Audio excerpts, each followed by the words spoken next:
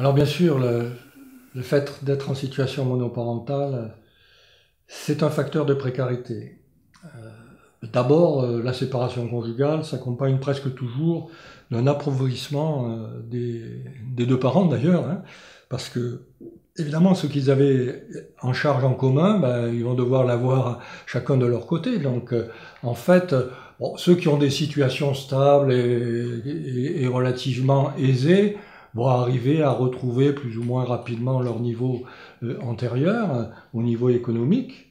Mais euh, dans beaucoup de situations, la précarité va s'accentuer avec l'entrée dans la, la, situation monoparentale, notamment pour des mères qui ont peu de qualifications, qui ont souvent ne travaillaient pas ou avaient un emploi précaire et qui se retrouvent avec la charge de leur enfant.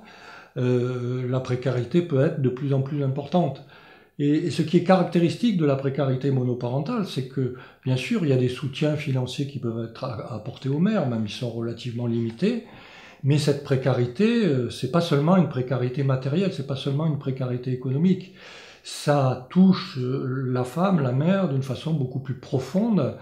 Hein. ce qu'on constate, c'est que dans les situations monoparentales, et notamment dans ces situations où les difficultés se sont accrues avec la séparation. D'abord, la séparation, ça a été un traumatisme, donc il y a bien sûr un impact psychologique fort. Et puis, euh, euh, la tendance, ça va être à, ce que la mère se retire des réseaux sociaux dans lesquels elle était auparavant impliquée. C'est-à-dire que la, précarité devient aussi relationnelle, hein, on a tendance à se refermer sur soi, on, vit de plus en plus des séquences plus ou moins dépressives, hein, et ce qui euh, va éviter de, sombrer en quelque sorte, ben, c'est qu'on va se raccrocher à son enfant. Hein. donc euh, on, on resserre le lien avec l'enfant, c'est effectivement tout à fait euh, important pour la mère hein, de pouvoir euh, euh, accorder à son enfant du temps et, avoir avec lui un, lien fort, mais en même temps on voit bien qu'il faut éviter que ce lien perdure trop longtemps que ce repli dure trop longtemps. Hein.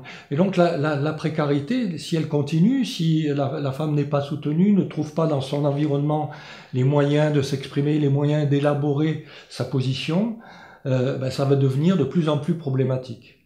Pas seulement sur le plan économique, mais aussi sur le plan relationnel, sur le plan affectif et, psychologique, et aussi pour l'enfant.